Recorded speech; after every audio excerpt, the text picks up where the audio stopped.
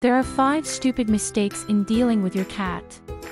But not stupid because they are so obvious but because they can cause your cat to lose trust in you. Want to know what they are? Then stay tuned now.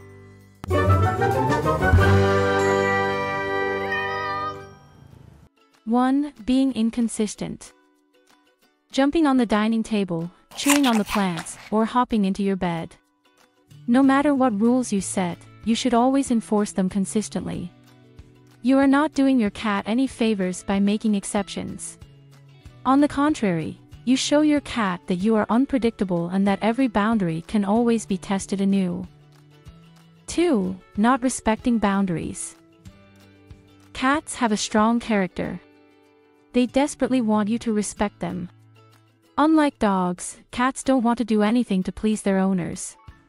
Disturbing them while they sleep or eat, or picking them up when they don't want it, can lead to a loss of trust and even make them aggressive. 3. Constant bustle. Many cats don't like strangers in the house. Daily visitors with a lot of noise and bustle can become a real challenge for them and stress them out massively. This makes it all the more important that your cat has a quiet retreat in the house where it is basically left alone. If this is not the case, behavioral problems, for example, urinating in the apartment, can occur. 4. Face to face.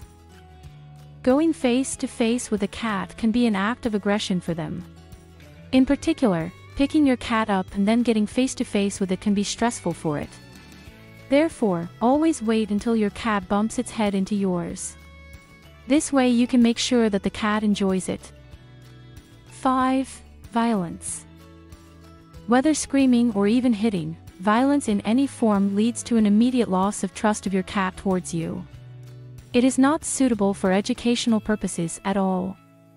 The only thing your cat learns from it is that you are hostile to it. And you certainly don't want that. Do you now want to know why you should go to the vet immediately if your cat smells sweet? Then click on the picture and watch our video on this topic.